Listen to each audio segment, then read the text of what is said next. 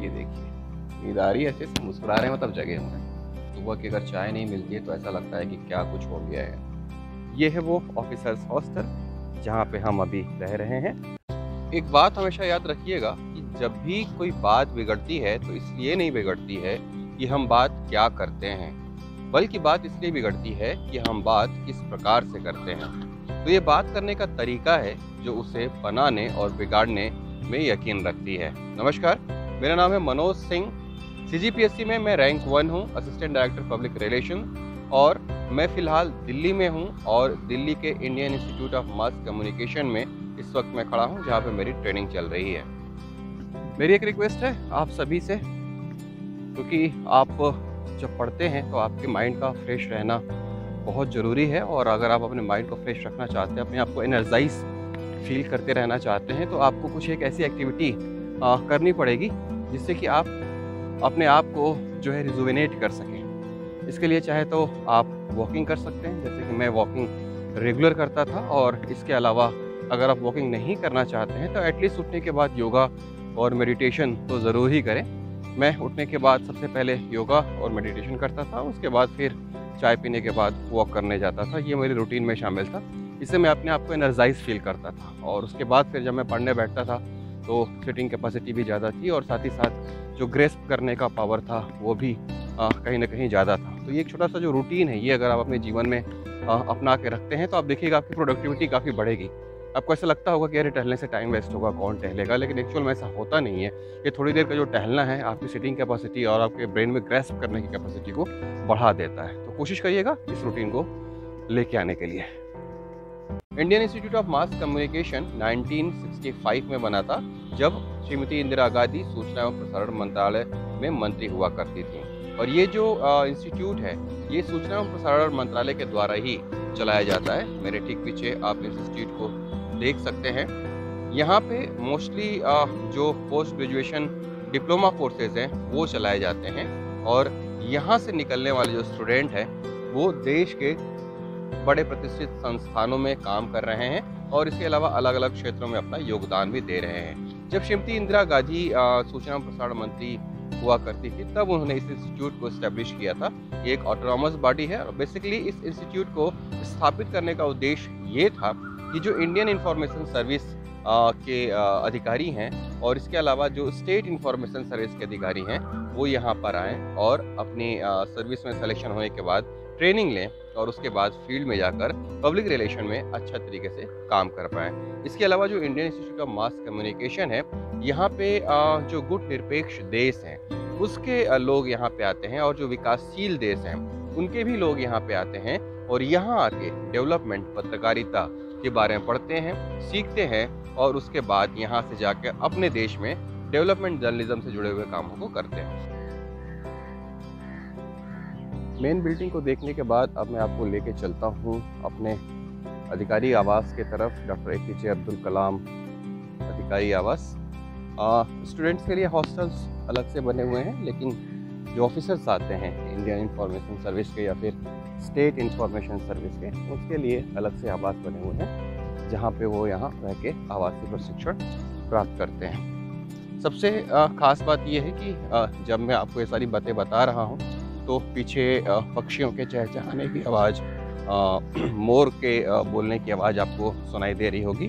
वो इसलिए क्योंकि ये जो इंस्टीट्यूट है ये इसके ठीक पीछे दिल्ली का संजय वन, संजय फॉरेस्ट स्थित है। और देखिए कितना अच्छे तरीके से यहाँ पे गार्डनिंग वगैरह की गई है। और ये ठीक पीछे जो आप घर देख रहे हैं, वो आईआईएमसी के डायरेक्टर जनरल का है। और ये है वो ऑफिसर्स हॉस्टल जहाँ पे हम अभी रह रहे हैं और यहीं रह के हमारी ट्रेनिंग होती है। काफ़ी खूबसूरत लोकेशन है आईआईएमसी का। बहुत ही बेहतरीन डिज़ाइन तो है ही। इसके अलावा काफ़ी अच्छे तरीके से इसको बनाया भी गया है। यहाँ पे रहने पे बस ऐसा ही एहसास होता है जैसे कि हम प्रकृति के बीच में आके बैठे हुए हैं और इसके बाद न सिर्फ़ यहाँ रह के जो स्टूडेंट हैं, उनका पढ़ने में भी मन लगता है और जो ऑफिसर्स यहाँ ट्रेनिंग करने के लिए आते हैं, उनकी ट्रेनिंग भी बहुत ही बेहतर तरीके से होती है। तो इस तरह से Indian Institute of Mass Communication की जो हिस्ट्री है, वो बहुत ही गौरवशाली है। यहाँ का जो प्लेसमेंट रेट है, वो नब्बे प्रतिशत है, नब्बे प्रतिशत छात्र यहाँ पे जब आके पढ़ते हैं तो वो कहीं ना कहीं जॉब में आ जाते हैं। लेकिन यहाँ एडमिशन मिलना काफ़ी मुश्किल है। अगर सौ छात्र एक सीट के लिए फॉर्म भर रहे हैं तो दो से तीन जो है स्टूडेंट्स ही का सिलेक्शन हो पाता है। सौ स्टूडेंट्स में से दो से तीन का ही सिलेक्शन हो पाता है। और फ़िलहाल मैं भी दिल्ली में हूँ और यहाँ पे हम ट्रेनिंग कर रहे हैं। छत्तीसगढ़ जो जनसंपर्क विभाग है, छत्तीसगढ़ का जो इंफॉर्मेशन सर्विस है, उससे तकरीबन पंद्रह लोग हम लोग आए हुए हैं और यहाँ पे ट्रेनिंग कर रहे हैं। तो फ़िलहाल दिल्ली में अभी सुबह के साढ़े छः बज रहे हैं। मैं मॉर्निंग वॉक में निकला हूँ तो मुझे ये लगा कि इसके बारे में भी थोड़ी सी जानकारी आपको देनी चाहिए। आई आई एम के ऑफिसर्स हॉस्टल में जैसे ही आप घुसेंगे, यहाँ पे बीच में दिखेगा ये आपको ग्रीन कारपेट जो कि देखने से काफ़ी सुंदर दिखता है और उसके बाद ये है ऑफिसर हॉस्टल का लुक। ये देखिए। इसकी खासियत ये है कि हम इस वक्त ग्राउंड फ्लोर पे हैं, लेकिन एक्चुअल में हम ग्राउंड फ्लोर पे नहीं हैं, क्योंकि नीचे एक और फ्लोर है और ओवरऑल कुल मिला के यहाँ पे चार फ्लोर हैं जो ऑफिसर्स के लिए बने हुए हैं और यहाँ पे मेस जहाँ पे सुबह का नाश्ता मिलता है और ये देखिए, ये है मेस। जहाँ सुबह का नाश्ता, दोपहर का खाना, फिर शाम का नाश्ता और रात का खाना। और ये देखिए, यहाँ पे लगा हुआ स्टिकर, छत्तीसगढ़ अधिकारी फॉर्म, छत्तीसगढ़। और इसके अलावा आईआईएस के भी अधिकारी होते हैं तो यहाँ पे देखिए बोर्ड लगा हुआ है आईआईएस ऑफिसर तो इस वक्त हमारी ट्रेनिंग आई ऑफिसर्स के साथ चल रही है और लगभग सात बजकर पचास मिनट हो गए हैं। टहल के मैं भी वापस आ गया हूँ। तो मुझे भी अब थोड़ी भूख लग रही है और मैं भी पीऊँगा चाय। और उसके बाद नहाना, फिर थोड़ा सा नाश्ता और फिर ट्रेनिंग दिल्ली जैसे महानगरों की एक खासियत होती है कि ये कभी सोते ही नहीं हैं।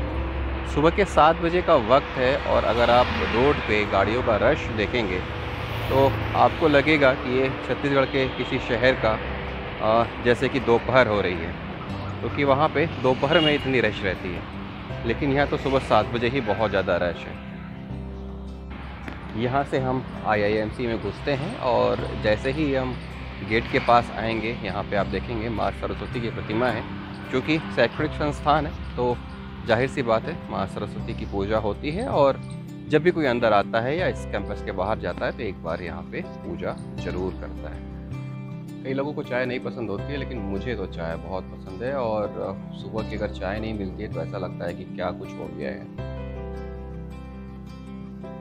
हम्म, और आईएमसी की चाय के भी क्या कहें बहुत ही अच्छी चाय मिलती है यहाँ पे सुबह सब कुछ एकदम फ्रेश फ्रेश टाइप का लगता है। शेड्यूल जो है ट्रेनिंग का वो दस बजे से स्टार्ट होकर शाम के साढ़े पाँच बजे तक है और लगभग आठ बजने वाले हैं। मॉर्निंग से मैं लौट आया हूँ। लेके चलता हूँ आपको रूम की तरफ़ और ये है मेरा L G twelve L G twelve का मतलब? लोअर ग्राउंड ट्वेल्व और ये देखिए रूम में अंधेरा है। हमारे साथी साहब अभी भी सो रहे हैं। ठीक है रात को देर तक जगते भी हैं। ये देखिए नींद आ रही है अच्छे से मुस्कुरा रहे हैं मतलब जगह हुए हैं। तो ये थी दिल्ली की सुबह जहाँ पे आपने देखा कि सुबह से ही रश हो जाती है। खैर अच्छा रूम के बारे में बात कर रहा था ये देख लीजिए। ये है ऑफिसर्स हॉस्टल जहाँ पे हम रह रहे हैं एक रूम में दो लोग और यहीं से रूटीन की शुरुआत होती है और इसके बाद फिर दिन भर ट्रेनिंग शाम को समय मिलता है घूमने फिरने का तो घूमते फिरते हैं। तो आईएमसी में ये जो चीज़ें थी ये आपने देख ली और मैंने ये बता भी दिया कि यहाँ पे क्या कुछ है कैसा है इस तरह की आ, का शेड्यूल है और यहाँ पे जब हम बाहर निकलेंगे तो ये बीच में एक ओपन एरिया है और यहाँ पे कपड़े वगैरह सुखाने के लिए सारी चीज़ें हैं। और ऑफिसर्स हॉस्टल की सबसे अच्छी बात यह है कि यहाँ पे ज़रूरत की वो सारी चीज़ें रखी हुई हैं, जो आमतौर पे ज़रूरत होती है। जैसे कि ये पोर्शन ये देखिए। वॉशिंग मशीन रखा हुआ है, कपड़े आप इसमें धो लीजिए। प्रेस रखा हुआ है यहाँ पे। ज़रूरत पड़े तो आप यहाँ पे अपने कपड़े प्रेस कर सकते हैं। तो एक छोटी छोटी चीज़ें भी जो होती हैं, उनका ख्याल रखा गया है, ताकि सारी चीज़ें दुरुस्त रहें और बढ़िया से यहाँ के लोग रह सकें। तो ये था आईआईएमसी का टूर उम्मीद करता हूँ आप सभी को पसंद आया होगा। फिर मिलेंगे नए वीडियो के साथ। जय हिंद।